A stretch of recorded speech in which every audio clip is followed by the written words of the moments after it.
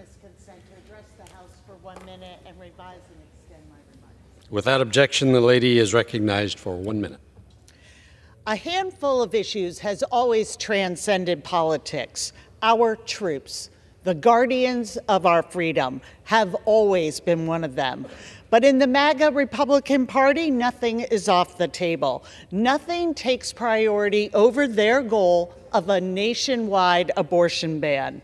Military promotions, troops' paychecks, our national defense bill, all held hostage because extremists want to tear away the reproductive freedom of the very people fighting for our freedom.